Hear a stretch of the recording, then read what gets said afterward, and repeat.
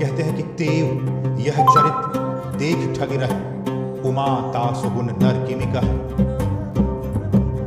नगरवासी कहते हैं कि यह चरित्र देखकर हम अचंभित हो जाते हैं, स्तब्ध स्तब्ध हो जाते हैं। और इसी पर भगवान शिव कहते हैं कि हे उमा, तब भला मनुष्य उनके गुणों को कैसे कह सकते हैं?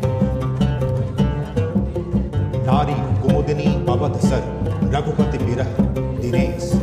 अस्त भय विकसत निरखी राम राकेश। अयोध्या हर्षित, अयोध्या प्रफुल्लित, अयोध्या आह्लादित है।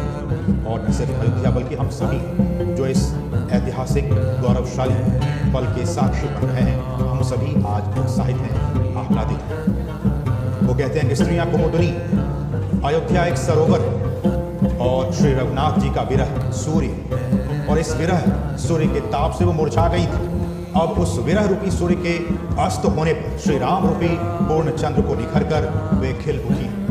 अयोध्या की नारी इस बात को अपने हृदय से बार बार कह रही है कि हम तो कुमुदनी लेकिन अयोध्या एक सरोवर और श्री रघुनाथ जी का विरह सूर्य कभी कभी इस विरह के ताप से वो मुरझा गई थी, जो कि 500 वर्षों का एक लंबा इंतज़ार उन्हें देखना पड़ा।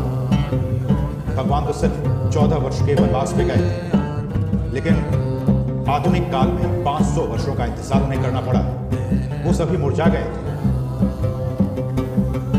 लेकिन अब उस विरह रूपी सूर्य के अस्त होने पर श्री राम रूपी पूर्ण चंद्र को देखकर वो निखर उठी वे खिल उठी अयोध्या का हर वासी आज इसी तरह से खिल उठा है वो कहते हैं कि अनेक प्रकार के शुभ সকল দর্শকবৃন্দকে জানাই आकाश में প্রথমেই বন্ডিং বন্ডিংয়ের তরফ থেকে অভিনন্দন এবং ভালোবাসা।